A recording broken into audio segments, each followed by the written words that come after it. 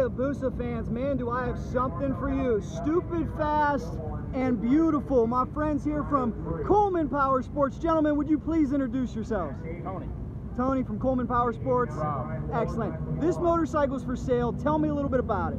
It's 2007. It's got a 13,000 miles. Um, full Brock's exhaust. See that? Full Brock's exhaust. 240 swing arm. Look at this 240 swing arm. Oh my gosh. Air ride bike. It is pretty, man. What's your impression of this bike? It's got the LED, HID headlights, uh, the windscreen light up. That's a, that's an uh, LED.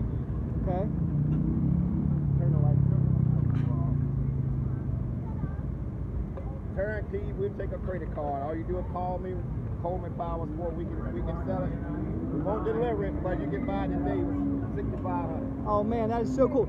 6500 that's it. That's it. That's a blowout deal. Yeah. So again, can they hit you up on Facebook? Facebook. What's the full name on Facebook? My name's Antonio Solomon. Antonio Solomon on Facebook. Woodbridge, Virginia. Woodbridge, Virginia. Yeah. And you on Facebook? Coleman Power Sports. Coleman Power Sports, guys. 6,500. Have either one of you two ridden this thing on the street? I have. Yeah.